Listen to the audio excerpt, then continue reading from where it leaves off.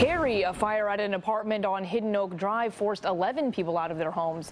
That fire started about 2 o'clock this afternoon and damaged six units. No one was hurt. Investigators are still working to figure out the cause of that fire.